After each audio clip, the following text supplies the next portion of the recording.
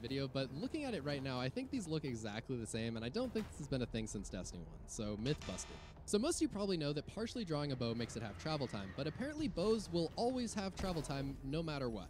So after doing some tests and analyzing some footage,